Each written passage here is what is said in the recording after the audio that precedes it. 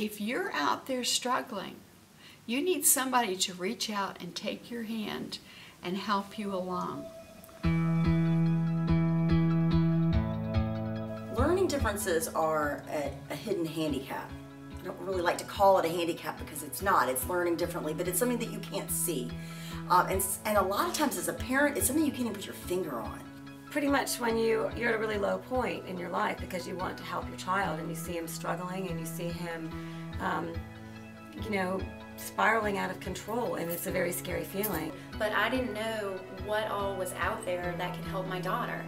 I'm going to borrow uh, something that my son said when he said, when I was in kindergarten, I was at 100%.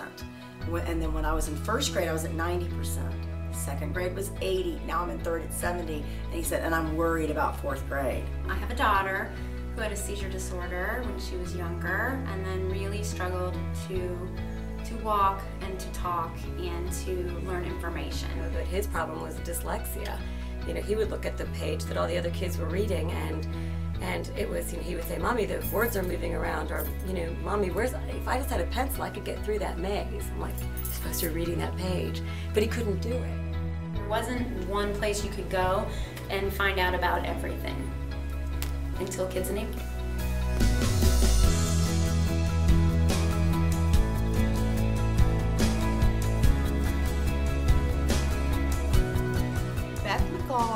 is the one who helped create Kids Enabled, began with hunting and searching for people to help her son. And through that love, she gathered more and more people who love children and who want to make their lives better. We were basically trying to take away the mystery and the stigma and, and, and say Atlanta is a huge city with so many resources and we'll help you find them. It is scary, no doubt it's scary, but you have to just take a deep breath and look in there and, and look into your heart.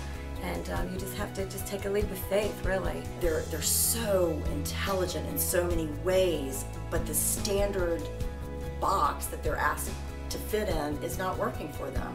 And they could go on to, to do incredible things we can discover the right accommodations and the right interventions. You see that parents, especially parents without a lot of money, uh, come in and they're looking for a resource and we're a good resource for them. So you can, you can see that it puts a lot of families, moms in particular, at ease. If it makes a difference in their life and makes the parent life easier, uh, it will in essence make the child's life a bit easier as well. My mom learned about Kids Enabled. She found so many different things from like tutors to advice, any trouble that I would have with my education she could use Kids Enabled to find an answer or find in another place that could give her an, an answer and it just built and built and it's been awesome. It opened a whole new world.